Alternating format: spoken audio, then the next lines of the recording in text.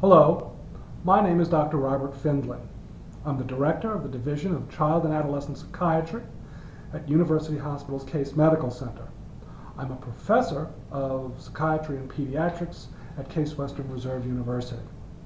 Now today, in this posting, I'll be talking a bit about issues pertaining to autism spectrum disorders and comorbid psychiatric conditions. Uh, I'll be really talking a lot about a paper by Simonoff and colleagues that was published in August's edition of the Journal of the American Academy of Child and Adolescent Psychiatry. Now, the whole topic of psychiatric comorbidities and autism spectrum disorders is very important for clinicians to consider.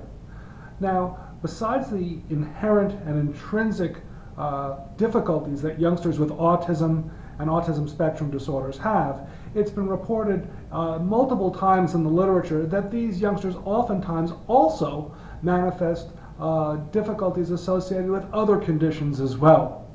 And the purpose of this paper was to look at a representative cohort of youngsters with autism and its related conditions and examine the rates at which psychiatric comorbidities occur in them.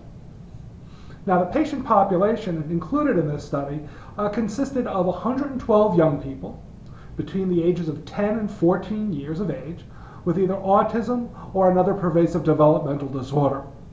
Now, of these youths, uh, 62 of them had autistic disorder uh, precisely. Now, the authors found that approximately 70% of these young people had symptoms consistent with a concomitant psychiatric disorder. Now that's quite a large number. Now, the most common disorders found in this group included social anxiety disorder, symptoms of oppositional defiant disorder, and attention deficit hyperactivity disorder, or ADHD. Now, a particular note is that 41% of these young people had two or more psychiatric disorders. Now, interestingly, of those with ADHD, almost 85% had a second psychiatric diagnosis. So, in short, not only was comorbidity common, but multiple comorbidities were also common, particularly in young people who met symptom criteria for ADHD. Now, knowing that a young person may be suffering uh, from one or more comorbidities improves the possibility of providing better treatments. Now, however, the only way to identify these comorbidities is to actually look for them.